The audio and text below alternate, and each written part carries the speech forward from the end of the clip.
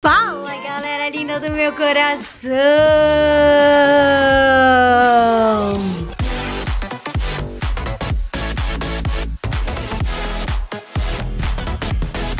Pra quem não me conhece, meu nome é Carol Brasolim, deste Insta aqui. Então já pode seguir lá, já pode deixar seu like, comentários, que eu tô sempre respondendo os comentários de vocês. Gente, meu Deus, como assim? Estamos de volta. Eu tava com tanta saudade de pegar essa câmera na mão e gravar pra vocês. Eu tô até nervosa, eu tô até suada, tô tendo calafrios. Assim, foi uma emoção pegar novamente essa câmera, colocar a bateria, colocar o cartão e falar, cara, voltamos com o melhor versus pior aqui neste canal maravilhoso. Não sei se vocês estão percebendo, mas até o meu brilho no olhar está diferente. Realmente tô emocionada em voltar. Tive que dar um tempo, obrigada. Não queria, mas tive por causa da minha saúde. Enfim, tive algumas coisinhas que eu não poderia ficar comendo várias porcarias aqui com vocês. E aí eu tive que fazer uma alimentação mais regradinha, mais saudável, mais certinha. Fiz o tratamento completo e estou de volta.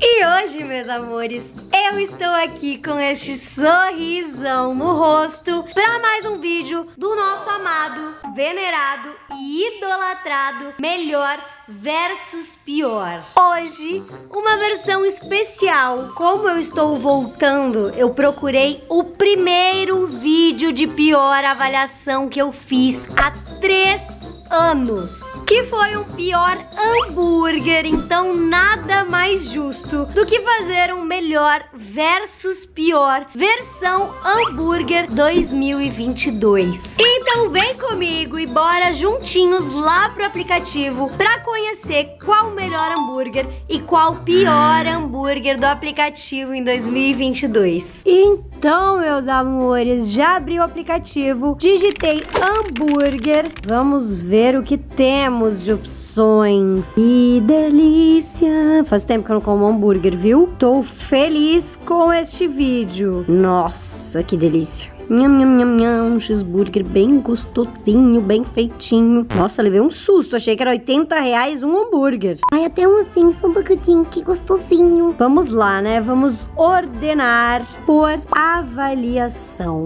Então, meus amores, após uma pequena grande busca, encontrei o estabelecimento com a melhor avaliação no quesito hambúrguer, que neste caso está avaliado em 5.0 que é a melhor avaliação, o top do top do top do top. E eu mesma estou com água na boca só de pensar nesse hamburguinho entrando nesta boquinha. Em contrapartida, o estabelecimento com a pior avaliação está avaliado em 2 2.2, ou seja, é menos da metade do que a melhor avaliação e hoje temos a melhor de fato e o pior 2.2 e assim, nem a imagem não é muito, muito legal. Inclusive, se fosse pela imagem mesmo, eu nem pediria, mas, né, vamos acreditar que nem é aquilo tudo, pensando que a imagem é o marketing do negócio, Fico preocupada, mas tudo bem. Como vocês já sabem, mas eu estou aqui para refrescar a sua memória, eu estou aqui comparando os dois locais, as duas comidas, os dois preços, tudo. Pois bem, como eu vou comparar uma pizza salgada com uma pizza doce? Se são sabores diferentes, é tudo diferente. O máximo que eu vou comparar é a massa, né? Porque o resto é tudo diferente. O gosto é diferente, o tempero é diferente, na realidade até a massa é diferente, o valor é diferente, tudo é diferente. Portanto,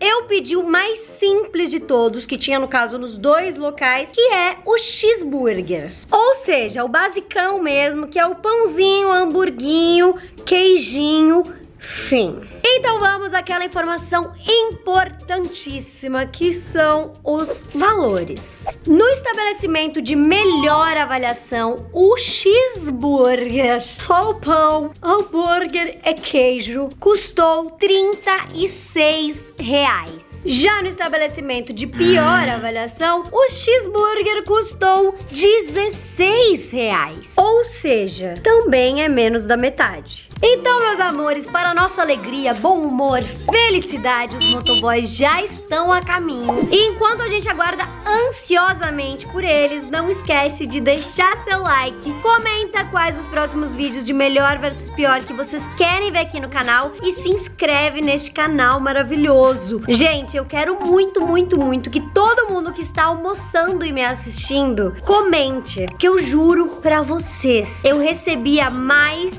de 100 mensagens por dia na hora do almoço. A galera, gente, tô almoçando aqui, só queria um vídeo seu. Aí eu lia, eu falava, caraca, gente, eu não sabia que tinha tanta gente que precisava de mim pra almoçar. Mas eu estou de volta.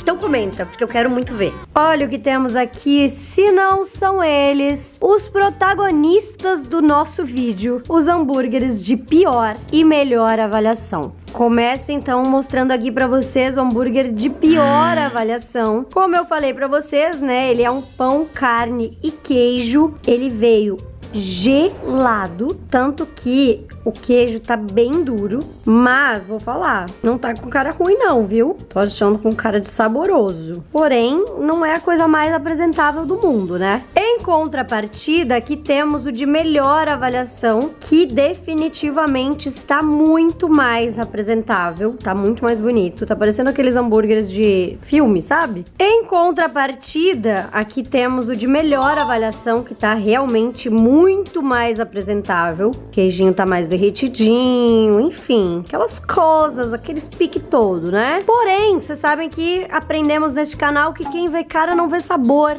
Então vamos provar. Deixa eu só antes mostrar uma observaçãozinha para vocês. Olha a diferença do pão. Esse pão tá super sequinho, super macio. E o pão da pior avaliação, ele tá molhado. Dá pra ver? Dá, né? Ele tá todo molhado. Agora eu não sei se é o bafo, né? Apesar de ele estar gelado, ou se é gordura. Ai, meu cenáriozinho! Tô emocionada, tô emocionada. Emocionada. Então vamos ao que interessa, que é provar o hambúrguer da pior avaliação e o hambúrguer da melhor avaliação do aplicativo em 2022. Bora lá. Troquei os lados até, né? Até me confundi. Mas enfim, vamos começar com o de pior avaliação. Já mostrei ele pra vocês. Dá uma mostradinha de perto, sim. Olha, sei lá. Sei lá. Estranho esse negócio molhado em cima, mas... Hum, não é molhado, é gordura mesmo. Legal, legal. Minha gastrite agradece. Não, ela não agradece. Ela tá triste nesse momento, chorando litros. Mas eu estou feliz. Meu coração está batendo forte. De emoção por estar aqui com vocês novamente. Vamos provar este hamburguinho. Hum, hum.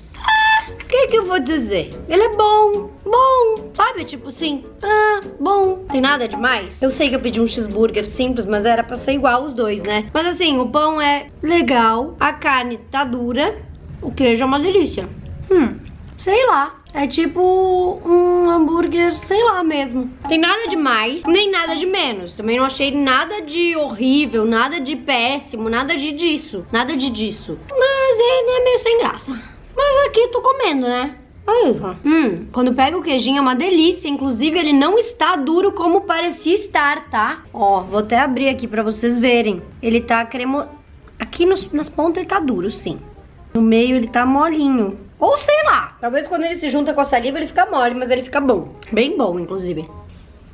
Hum, não parei de comer, né? Uhum. Hum, como eu não parei de comer, percebe-se que de horrível ele não tem nada. De pior avaliação pra mim também não. Ele só é blé, nhé, hum, sabe? Uou, vemos com a melhor avaliação.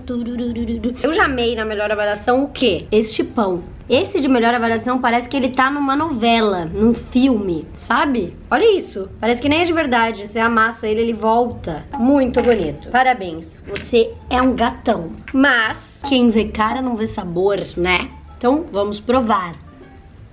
Hum, hum. Por isso que eu gosto de comparar. Antes de provar o de melhor avaliação, eu não tava sabendo o que que tinha de meh na pior avaliação. Pois é, falta tempero. Ele é tipo meio sem sabor, sem gosto, sabe? Tipo, pão já é uma coisa que não tem muito sabor. A carne não tem gosto de nada, porque não tem. Aí o que eu falei que o queijo era bom. Mas aqui, nesta mordida, eu pude perceber o quê? Tempero. Tempero faz falta. Hum. Uhum. Uhum. Uhum. Uhum. Olha, vou colocar um do lado do outro para vocês perceberem aí de casa a diferença do ponto da carne, sendo que ambos eu pedi ao ponto e o queijo. O queijo é muito mais duro. Esse aqui ele meio que precisa de uma saliva para ficar legal. Esse aqui ele já tá derretidinho dentro. Olha, tem diferença no pão, tem diferença na carne e tem diferença no queijo. Não é a pior coisa do mundo jamais, jamais daria uma avaliação tão baixa. Porém, preciso, né, dar parabéns para esse aqui. Olha, quando aperta, tá vendo? Ai, que delícia! Hum, hum, hum, hum, hum, É, esse é muito bom mesmo. Muito bom mesmo. Eu com certeza pedirei mais vezes, viu? Admirei. Saudade que eu tava de comer hambúrguer, vocês não têm noção não, tá? Nossa senhora, que delícia. Mas enfim, vou deixar eles aqui de ladinho, de ladinho, girou. Complexo. Tô feliz. Moral da história, conclusão minha. Eu preferi realmente muito mais a melhor avaliação por N motivos. O pão é mais saboroso, ele tem um gostinho de manteiga. Essa casquinha pra mim é perfeita. Ele não tá molhado, isso é uma coisa que eu observo muito em hambúrguer, porque às vezes a carne acaba molhando o pão, fica aquela meleca, não está molhado. Esse aqui também não está, os dois estão sequinhos, isso é muito bom. Porém, tem uma diferença bem grande na carne e no queijo, ou seja, no sabor do hambúrguer mesmo. Então, tá longe de ser péssimo, porém, tá longe de ser o melhor. Esse aqui realmente é um dos melhores que eu já comi na minha vida, com certeza eu vou pedir de novo. Eu achei ele realmente muito saboroso. Mas agora, vamos para as avaliações. Ui, querida. Pra entender o porquê este foi o hambúrguer melhor avaliado do aplicativo em 2022 e este o pior. Melhor, Marília 5 estrelas. Com certeza o melhor hambúrguer que eu já comi em São Paulo. Pão super fresquinho e carne macia, amo demais. Gostei muito, concordo muito. Moacir, que delícia de hambúrguer, carne super macia e no ponto ideal que eu pedi, pão crocante e macio ao mesmo tempo, vocês são incríveis, realmente aquilo que eu falei, né, o pão tá sequinho, não é crocante, né, Moacir, é sequinho e macio ao mesmo tempo. Joana, 5 estrelas, queria poder comer todos os dias, o melhor hambúrguer que eu já comi, peço sempre e jamais decepciona, realmente, os comentários desse local são pessoas que assim, pedem sempre e eu não serei diferente. Realmente gostei muito. Tava me faltando na minha listinha um hambúrguer para pedir sempre. Sabe quando tu sente e fala, ai, queria comer uma coisa diferente. E aí você já sabe um lugar muito bom para comer? Tava faltando na minha listinha um hambúrguer muito bom. Vou colocá-lo. Gabriela, na pior hum. avaliação. Uma estrela. Decepcionada. Hambúrguer cheio de gordura, pão molhado e carne mal passada, sendo que pedi bem passado. E ainda coloquei na observação. Isso é muito chato, né? Por quê? Tem pessoas que simplesmente não conseguem. Isso aqui já é tipo assim, o auge do mal passado para as pessoas. Se tiver um vermelhinho, já não come. Então, realmente, quando pede bem passado, precisa ser bem passado. No meu caso, eu pedi os dois ao ponto. Esse aqui veio bem passado, porque, né, não tem absolutamente nada de, de mal passado isso aqui, nem de ao ponto. E esse aqui tá certinho, que é o vermelhinho no meio. Larissa, uma estrela. Odiei! Gosto de gordura e pão duro demais. Eu não achei gosto de gordura, inclusive não achei gosto de nada. e se tivesse gosto de gordura, talvez seria bom, porque gosto de gordura é bom, dependendo, né? Tipo assim, uma batata frita.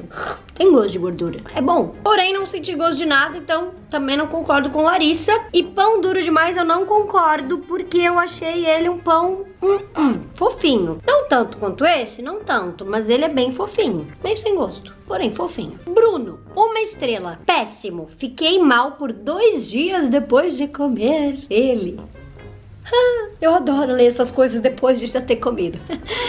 Sabor de gordura intenso e carne de péssima qualidade. Realmente a carne percebemos uma diferença grande. O sabor de gordura eu não percebi porque não percebi gosto nem sabor. Então, concluímos aqui que realmente o melhor é melhor. Porém, esse aqui eu daria tipo assim, uns quatro para ele. Porque ele é um hambúrguer gostoso, para quem não se importa muito com sentir sabor. Não, 4 eu tô sendo muito generoso. Acho que pode ser uns, uns 3.5, né? Mas ele tá muito abaixo. Mas óbvio que tem todo essa, esse fator, que nem eu falei. Pessoas que pedem um ponto e vem o ponto diferente. O fato de ele ter chego gelado. Esse aqui veio quentinho, já muda muito e obviamente tem muito mais avaliações comentando sobre essas coisas que baixam ainda mais a avaliação. Mas enfim, meus amores, eu espero que você de casa tenha gostado. Hoje eu não vou dar hashtag pra vocês, porque eu quero ver muito os comentários de quem está almoçando e assistindo. E me conta o que, que você tá fazendo enquanto tá assistindo. Fechou? Beijo, beijo, beijo. Amo muito vocês.